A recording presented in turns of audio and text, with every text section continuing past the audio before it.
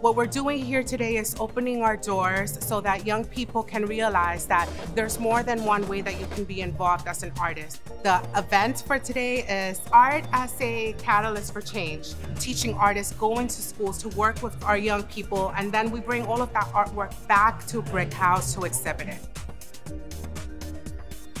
The theme of today is anti-gun, anti-violence. Violence is a symptom of a disease in our community. Violence spreads due to lack of resources, to lack of a niche that a young person can find as an alternative to a gang or different things that may not be as productive.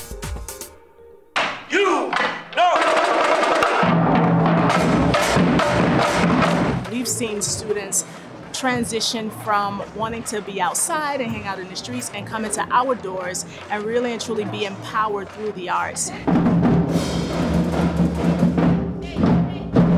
The Brownsville community is one of the most under-resourced communities in Brooklyn, and it's also one of the communities that has the most crime.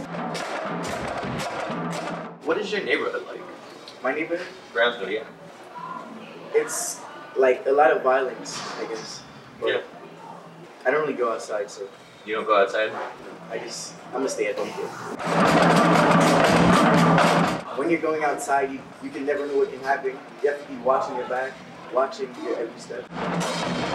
In our organization, we're providing our services to over 60 youth. They are being empowered through music, through education, through mentorship, leadership, and dance. And so we are honored to be able to come here today to showcase what our students are learning at Victory Music and Dance Company Incorporated.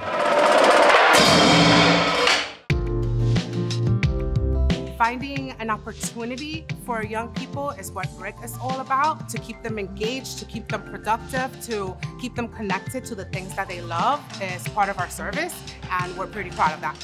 We're also really proud of partnering with the city and state. This work is not possible without the fiscal support of our council people so that young people have a home. They have a home for creating.